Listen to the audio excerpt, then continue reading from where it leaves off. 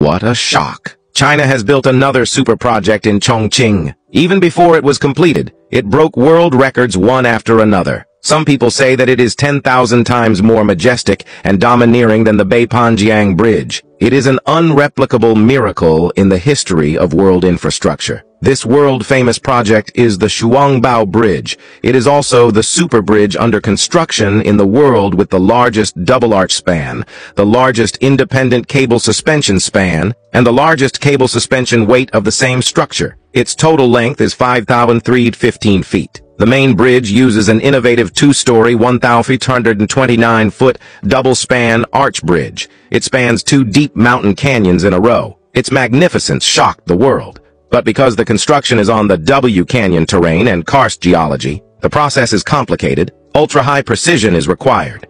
Construction is very difficult. To this end, the project uses a variety of advanced construction technologies. For example, 3D laser scanning and digital pre-assembly technology. In addition, the project also created a unique cable hoisting system in the world. Ensure docking is accurate to 0.01 inches. Ensure the smooth construction of the project. It is an insurmountable height for any bridge project in the world. As an American, I have to say that China's infrastructure is really amazing.